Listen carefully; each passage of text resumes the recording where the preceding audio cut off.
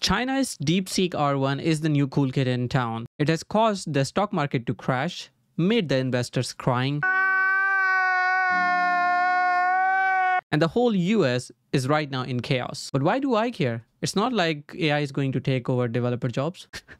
Anyways, I'm not an AI expert yet, but I intend to be one in the near future. And I've been playing around these models like Gemini, OpenAI models, even DeepSeek now. And it's really interesting how these are being evolved. When I was asking DeepSeek, Google Gemini, and OpenAI a simple question about React of what's possible and what's not, they all gave pretty interesting answers. And in this video, I'm going to show you comparing those answers and see how they perform among each other other. By the way, a couple of shameless plugs right now before we get in. This was actually done during a live stream. So the next time I'm live streaming, please come say hi and join the chat as well. Secondly, I was working on this React.js or Practical React.js Essentials course, which is in Urdu language or Hindi. So if you know Urdu or Hindi or know someone who does, you can definitely share this course with them because it's really, really good. It's really practical and it's obviously from one of the best tutors out there. Yeah, and just for the context, the question I asked all these three models is if React can have a route without any template, which means it's not rendering anything, but it's still a route. So let's see what they answer. We're going to try to ask Gemini 2.0. Can there be a React route that doesn't render anything at all? And I want to compare the questions within some uh, other prompts as well. So, or other AI models as well. Let's also ask DeepSeek as well. And we are going to use the DeepSeek's uh, R1 model. Even though it's a it's like relatively easy question, I think still it would be interesting to see the thinking process here. And those of you who don't really know DeepSeek, DeepSeek is a Chinese company which released the version 3 model of DeepSeek, but this R1 is a model, an AI model that actually thinks or you can actually see what it is thinking. So now we are asking can there be a React route that doesn't render anything at all? And we're going to try the same thing with, with ChatGPT as well. So let's try to ask, we're going to try to use the O1 model, right? Let's compare the results from all of these, these AI models, not this one. So let's first have a look at what what Gemini says, right? So Gemini says, yes, absolutely, you can have a React route that doesn't render anything at all visually. Here's how and why you might do it. So not only this tells how is it, it is possible, but also why would someone you do it or why would someone do it at all. So the key is to render null or undefined within the component associated with your route. So here's an example. So here we're actually defining the router.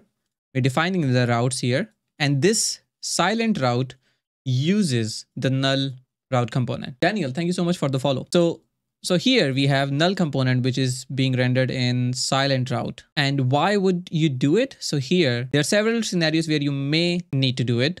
Uh, performing side effects. So you could still go to a route and make an API call, for example, on the backend and and you don't render anything at all. Quite possible. So you go to the particular route, you make an API call, and then you navigate to the route. Google Gemini 2.0 Flash experimental, which is quite a nice model to be honest. Now let's have a look at ChatGPT. So ChatGPT thought about this for a few seconds and then said, yes, you can create a React route that renders nothing. Now, how does it work? Quite similar example. Here it says no UI. If we compare this to Google's response, the naming that they picked was a bit interesting. Wellington Sanveira, good afternoon. I'm from Brazil. Hey, how's it going? So silent route was the one that they picked. And if I look here, it's like no UI. And in there, we still have a component. So you still have to give this component an element or a route an element, which is interesting.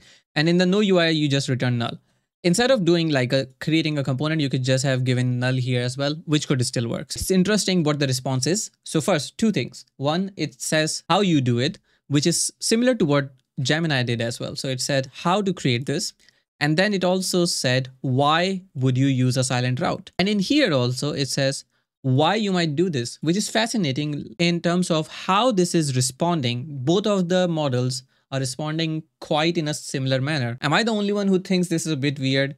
Or is there a conspiracy theory here as well? Should we be like, what's happening here? let's have a look at what DeepSeek R1 told us. So, so we're gonna scroll a bit up and this AI model, which is one of the latest AI models, which is being really hyped uh, in the AI community or developers community even, is because it also shows you how it thinks. And the, the difference between this and the other AIs is that this model tries to reinforce the solution or the optimized way or or the optimized answer based on its own thinking process like a human which is interesting so here it says okay the user is asking if it's possible to have this and this and that and then it's like so in react router when you define a route using route component you typically specify a component or element to render the path matches.